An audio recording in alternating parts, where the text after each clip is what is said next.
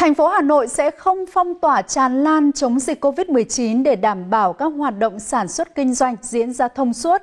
Trong tổ chức giao thông, thành phố yêu cầu xe khách không được chở quá một nửa số chỗ ghế ngồi và mỗi xe không chở quá 20 người. Thông tin được đưa ra tại buổi họp giao ban thường kỳ tháng 1 của thành phố ngày hôm qua.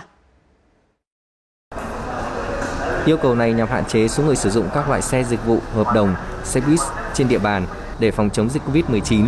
Đặc biệt, việc kê khai thông tin dịch tễ của người dân khi di chuyển về các tỉnh thành và khi trở lại Hà Nội sau Tết cũng sẽ được kiểm soát chặt chẽ.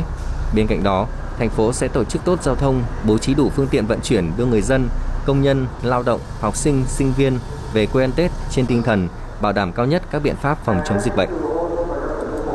Dịp Tết thì người dân đi lại tương đối nhiều. Nhưng chúng tôi cũng khuyên cáo là nếu cần thiết đi thì chúng ta sẽ đi nhưng phải cân nhắc đặc biệt là đi về quê hoặc đi thì liên quan đến bến xe, bến tàu, thì cố gắng đảm bảo cái việc là tránh cái chuyện tụ tập đông. Và khi à, đi lên các phương tiện à, giao thông thì chúng phải tuân thủ cái việc mà đeo khẩu trang và sát khuẩn.